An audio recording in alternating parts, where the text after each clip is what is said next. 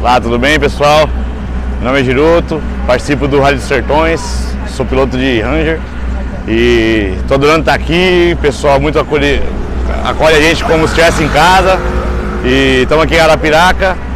A, a etapa de hoje foi tranquila, muita velocidade, muitos obstáculos, rios, paisagem maravilhosa, né?